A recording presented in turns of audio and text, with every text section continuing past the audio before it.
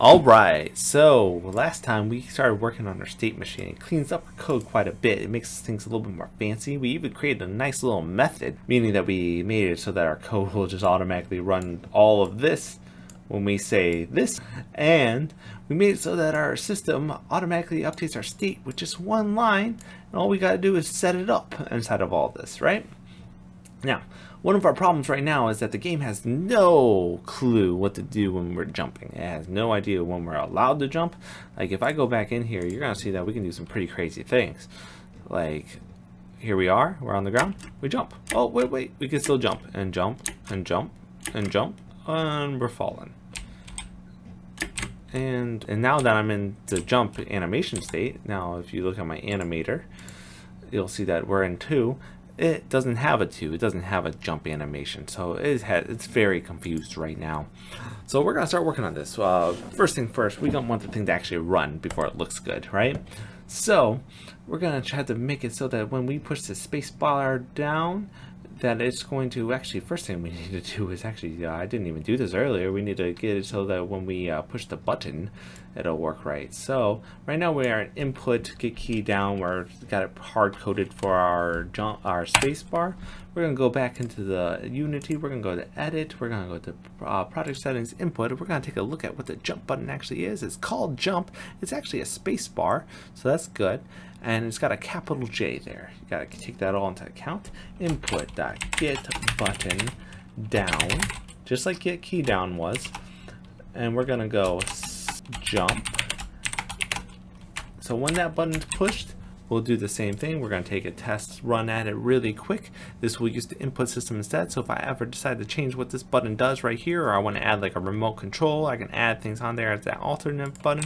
We can do all sorts of stuff with that and I hit the spacebar and wow it still works that's good all right so let's go into the next step here we're gonna go from uh, this and we're gonna make it so that it actually does a little bit more. Um so right now we have it so that uh, that he goes into the jump state and then he can just do it at any time. Like if this button's pushed it's gonna happen. Thing is we need to make sure that he's actually you know touching something the ground in order for it to happen. Like who can jump when they're not touching the ground? So if we go to the foreground over here you see that it's not tagging. There is no layer on there. Collider 2d api so we're going to go to collider 2d api and this is what you're going to use a lot. Now i actually know the name of the script that we're going to be using the name of the method which is by the way the official name of anything like this that you can run. Even the set integer over here when we're running it from the animator those are all methods. This method right here just assumes that we're running it from this meaning that it's being run by the player controller right here and animator is this animator right here which is running the set integer right there those are all methods even this update function is a method uh, that just means that it runs whatever's inside of its nice little curly brackets wherever it's actually coded at. Okay. so you can actually go right on here to the scripting UI uh, API and it'll tell you what all its methods are and you'll see here that we have a nice little cool is touching layers function here right now you click that and you see oh what's that do well, it returns a boolean, aka a true or false, whether this collider is touching any collider on the specific layer mask or not. We can start to make this.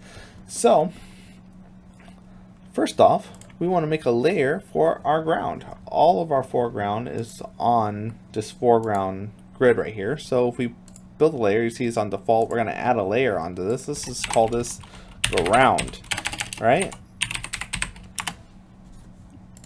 So now we go back to this foreground, we hit layers, we go ground, the whole game knows that this is on the ground layer now. And we can now script it in that if I am touching that, then I can jump, right? So let's see what we need here. So we go over here and we say, okay, so I need to check it with my Collider 2D. Problem is we don't have access to our Collider 2D. So let's make it. Let's go private collider 2D Okay. And let's go col. We're gonna go right into the start function just like we did before. We're gonna col equals get component collider 2D. Right? Let's see how that works out. Alright, so I went ahead and got its Collider 2D from the player over here. It works, and you're like, what? But Alvin, it says Box Collider 2D on there. How's that making any sense? Like, uh, that's a Box Collider. Well, Box Collider 2D and any other Collider 2D is of the type Collider 2D, so the game knows. Uh, I'm not going to explain that fully right now and how it inherits and all that, but it's there. Don't worry about it. It's uh, any type of uh, Collider 2D is it has a bunch of things that are uh, basically its children, and we call them. Uh, they inherit from the Collider to the Box Collider to the Capsule Collider 2D. Every one of those inherits, and so it works like that and runs the same functions. So now we want to say if you hit two of these AND buttons, which is uh, Shift 7, it'll actually it actually counts as AND in the system, right? So like uh, they'll say if this is true right here, this input jump is happening, and whatever over here is true, then we can do this. So both things have to be true. True, true. Col is touching layers, which we looked up earlier. And then if you got to pass in a layer mask. Uh-oh, how do you do that? We don't have a layer mask. Well, then let's make one. Private layer mask and call it round. And we have no way of passing this in in the start function. So what do we do in that case? We want to keep it private. So let's actually make it serialize field, right? Ugh. You set tag on there. That's a Unity specific tag right there. And it'll serialize this uh, field right here, right? So we are supposed to pass in that layer mask.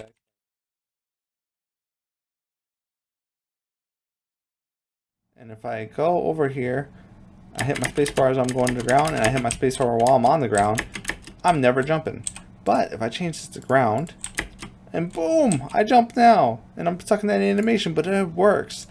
So, now the game knows, and you want to change this back to ground again once you get out out of that play mode by the way it reverts all your changes when you go from when all your changes that you make while you're in play mode and then when you go out of it it reverts them all so change that to the ground layer. From now on, he can only jump when he's touching this ground layer. So it'll only let these things happen there. Eventually, we're going to want a falling animation as well. So what we're going to do here is we're going to make a falling state as well. And we're going to say if the the rb.velocity.y, meaning my rigid body's velocity.y is less than 0.1f. Then we're going to go into the state equals state dot falling, right? And if state equals equals state dot falling,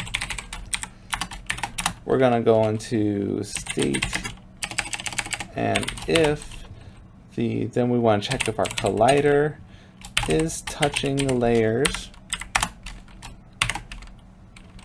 ground. Then we're going to go into state equals state dot idle. What's all this mean? Okay, so right now we go into jump. Oh, we're going to go else if, by the way. Sorry, that should be in there. So right now we go into the jumping state. What we can only do that if we're touching the uh, ground, right? And our velocity goes up, we go up in the air. And then at some point, the y velocity will taper off and will actually start to fall back down. That's what gravity does.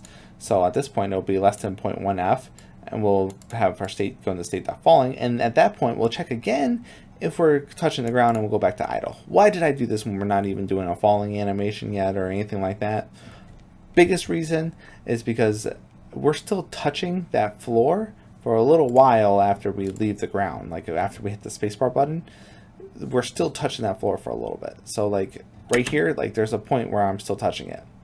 Okay, So, as you can see, I'm stuck in that animation, but he goes back to the idle right there. Because once he hits the floor back again, he's actually going back to the idle animation because he's falling and then boom, he goes into idle because he hits that floor again. Okay? Next uh, next video, we're actually gonna like start pushing putting some things together. You're gonna learn how to uh, create the animations for the jump and the fall. But please, if you liked the video, please hit the like button below and also subscribe, hit that bell button so you can get the notifications that we are updating these tutorials and you can get more and more and more and more free stuff like this. Most importantly, leave me a comment uh, below just stating what you want to see, what you want from the next video series, what can be done better, what you wish was different, anything. Like I got thick skin, give it to me. All right, have a great day. Bye.